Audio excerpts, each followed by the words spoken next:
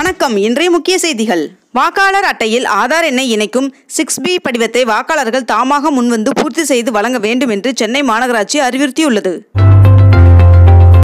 சென்னை டெல்லி அகமதாபாத் பெங்களூரு உள்பட பதிமூன்று நகரங்களில் ஃபைவ் ஜி சேவை வெளியிடப்பட உள்ளதாக தகவல் வெளியாகியுள்ளது. மேலும் பிரதமர் நரேந்திர மோடி அவர்கள் வருகின்ற செப்டம்பர் இருபத்தி ஒன்பதாம் தேதி இந்திய மொபைல் காங்கிரஸ் நடத்தும் தொடக்க விழாவில் ஃபைவ் ஜி நெட்வொர்க்கை அதிகாரப்பூர்வமாக அறிமுகப்படுத்தப்படுவார் என்றும் தெரிவிக்கப்பட்டுள்ளது. சேலம் மாவட்டத்தில் கோட்டை மாரியம்மன் கோவில் திருவிழாவை முன்னிட்டு இன்று உள்ளூர் விடுமுறை அறிவிக்கப்பட்டுள்ளது. ஜிபிஎஸ் அடிப்படையிலான சுங்கச்சாவடி கட்டண வசூல் அமைப்பு அடுத்த ஆறு மாதங்களில் அறிமுகப்படுத்தப்படும் என்று தகவல் வெளியாகியுள்ளது. கோவை பாரதியார் பல்கலைக்கழகத்தில் எம்ஃபில் மற்றும் பிஹெச்டி படிப்பில் சேர விண்ணப்பிக்க இன்று கடைசி நாள் என்று தெரிவிக்கப்பட்டுள்ளது. மறைந்த முன்னாள் முதலமைச்சர் ஜெயலலிதா அவர்களுக்கு எதிரான வருமான வரித்துறை தாக்கல் செய்திருந்த மூன்று வழக்குகளில் அவரது வாரிசுகளான தீபா மற்றும் தீபக் ஆகியோர் பதிலளிக்க சென்னை உயர்நீதிமன்றம் உத்தரவிட்டுள்ளது. சுதந்திர தினத்தன்று ஊராட்சி எல்லைக்கு உட்பட்ட வார்டுகளில் கிராம சபை கூட்டம் நடத்த வேண்டும் என்று தமிழக அரசு உத்தரவிட்டுள்ளது. நாட்டில் பனிரெண்டாயிரம் ரூபாய்க்கு குறைவான சீன செல்போன்களுக்கு தடை விதிக்க ஒன்றிய அரசு திட்டமிட்டுள்ளதாக தகவல் வெளியாகியுள்ளது.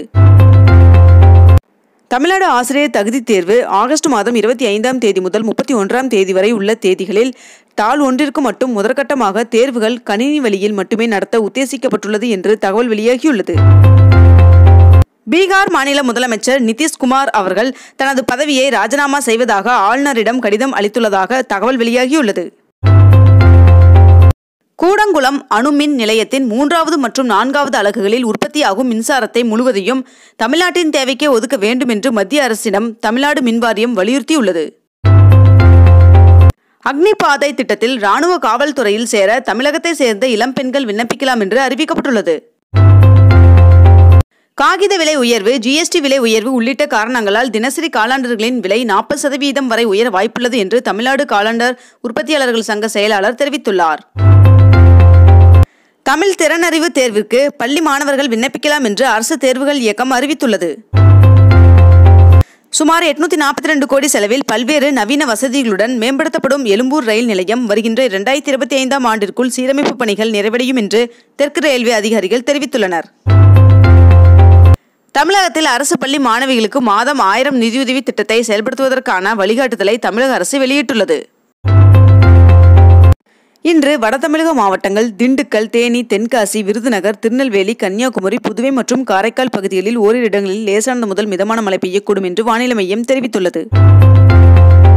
இருபத்தி ரெண்டு கேரட் ஆபண தங்கத்தின் விலை சவரனுக்கு ஒரே நாளில் இருநூத்தி நாற்பது ரூபாய் அதிகரித்து ஒரு சவரன் முப்பத்தி ஒன்பதாயிரத்தி நாற்பது ரூபாய்க்கு விற்பனையாகிறது. அதேபோல் ஒரு கிராம் வெள்ளியின் விலை அறுபத்தி நான்கு ரூபாய் ஐம்பது பைசாவாகவும் விற்பனை செய்யப்பட்டு வருகிறது. இத்துடன் இன்றைய தலைப்புச் செய்திகள் நிறைவடைகின்றன. மேலும் இதுபோன்ற அண்மை தகவல்களை உடனுக்குடன் தெரிந்து கொள்ள நம்மளுடைய அக்னிபூ சேனலை சப்ஸ்கிரைப் பண்ணிட்டு தொடர்ந்து இணைந்திருங்கள். நன்றி வணக்கம்.